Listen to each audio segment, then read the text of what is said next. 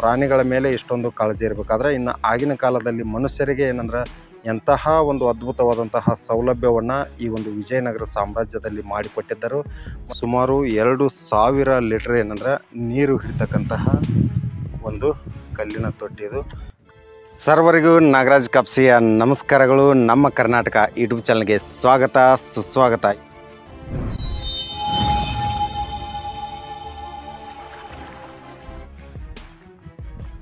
ವಿಶೇಷವಾಗಿ ಇಲ್ಲೊಂದು ಮಹಾನವಮಿ ದಿಬ್ಬ ಪಕ್ಕದಲ್ಲಿ ರಾಜ್ಯಾಂಗಣ ಅಂತಕ್ಕಂತಹ ಒಂದು ಸ್ಥಳ ಇದೆ. ಅಂದ್ರೆ ರಾಜ್ಯ ಸಭಾಂಗಣ ಇರತಕ್ಕಂತಹ ಒಂದು ಸ್ಥಳ.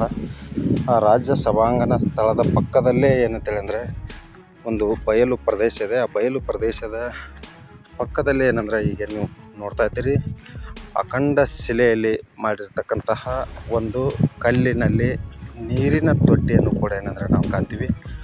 ಗಮನಿಸ್ಬೋದು ಈ ಕಲ್ಲಿನ ತೊಟ್ಟಿ ಎತ್ತಂತಹ ವಿಶಾಲವಾದಂತಹ ಕಲ್ಲಿನ ತೊಟ್ಟಿ ಇದು. ಸುಮಾರು ಎರಡು ಸಾವಿರ ಲೀಟರ್ ಏನಂದ್ರೆ ನೀರು ಹಿಡಿತಕ್ಕಂತಹ ಒಂದು ಕಲ್ಲಿನ ತೊಟ್ಟಿ ಇದು. ಕಲ್ಲಿನ ತೊಟ್ಟಿಯನ್ನು ಕ್ಲೀನ್ ಮಾಡಲಿಕ್ಕೆ ಕೂಡ ಇರುತ್ತೆ ಏನಂತೇಳಿ ಒಂದು ಕೊನೆಗೆ ಏನಂದ್ರೆ ಹೋಲ್ಗಳನ್ನು ಕೂಡ ಮಾಡಿದ್ದಾರೆ.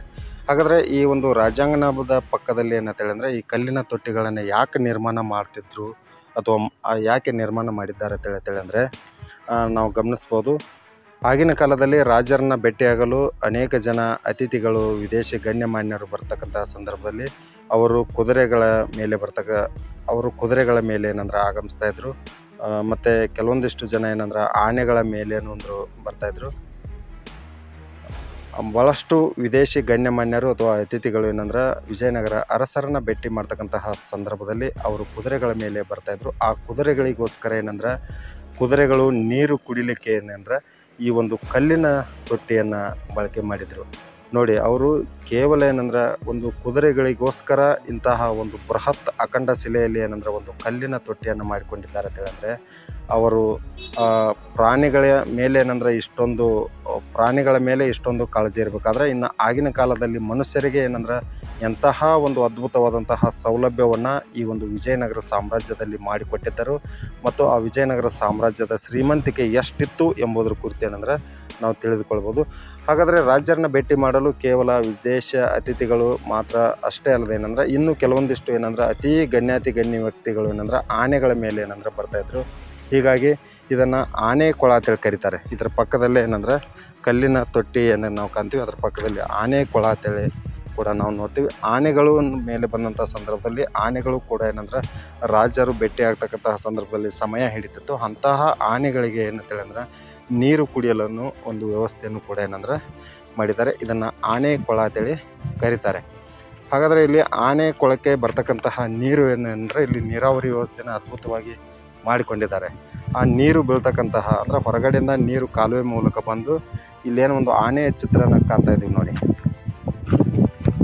ಇಲ್ಲೇನು ಆನೆಯ ಚಿತ್ರ ಕಾಣ್ತಾ ಇದಲ್ಲ ಆನೆಯ ಸೊಂಡಿಲಿನ ಕೆಳಭಾಗದಲ್ಲಿ ಒಂದು ಕಲ್ಲಿನ ಕಾಲುವೆ ಇದ್ದು ಆ ಕಾಲುವೆ ಮೂಲಕ ಏನಂದ್ರೆ ಈ ಒಂದು ತೊಟ್ಟಿ ತುಂಬ್ತಾ ಇತ್ತು. ಹೀಗಾಗಿ ಇದನ್ನ ಆನೆಯ ಕೊಳ ಅಂತಲೂ ಏನಂದ್ರೆ ಒಂದು ಪ್ರಸಿದ್ಧಿಯನ್ನು ಕೂಡ ಏನಂದ್ರೆ ಪಡೆದುಕೊಂಡಿದೆ. ಇಲ್ಲಿ ನಾವು ಗಮನಿಸ್ಬೋದು ಒಂದು ಕಲ್ಲಿನ ತೊಟ್ಟಿ, ಇನ್ನೊಂದು ಆನೆ ಕೊಳ ಅಂತಕ್ಕ ಒಂದು ಕುದುರೆಗಳಿಗೆ, ಇನ್ನೊಂದು ಆನೆಗಳಿಗೆ.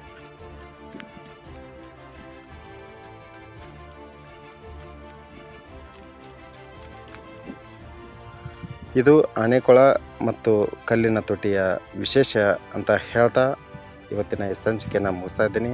ನಮಸ್ಕಾರ. ಇವತ್ತಿನ ದಿನ ನಾವು ಐತಿಹಾಸಿಕವಾದಂಥ ಹಂಪೆಯ ಕ್ಷೇತ್ರದಲ್ಲಿದ್ದೀವಿ. ಹಾಗಾದರೆ ಹಂಪಿ ಅಂದ ತಕ್ಷಣ ಇದು ಒಂದು ಪ್ರವಾಸಿಗರ ಸ್ವರ್ಗ ಅಂತೇಳಿ ಹೇಳ್ಬೋದು ಮತ್ತು ಅನೇಕ ಏನಂದ್ರೆ ಪೌರಾಣಿಕ ಹಿನ್ನೆಲೆ ಉಳ್ಳಂತಹ ಅದ್ಭುತವಾದಂತಹ ರಮಣೀಯವಾದಂತಹ ಐತಿಹಾಸಿಕ ದೃಶ್ಯ ಅಂತೇಳಿ ಹೇಳ್ಬೋದು. ಇಲ್ಲಿ ಕಲೆ ಮತ್ತು ವಾಸ್ತುಶಿಲ್ಪಕ್ಕೆ ವಿಜಯನಗರ ಅರಸರು ಕೊಟ್ಟಂತಹ ಕೊಡುಗೆ ಅಪಾರ ಅಂತ ಹೇಳ್ತಾ ಇದ್ದೀನಿ.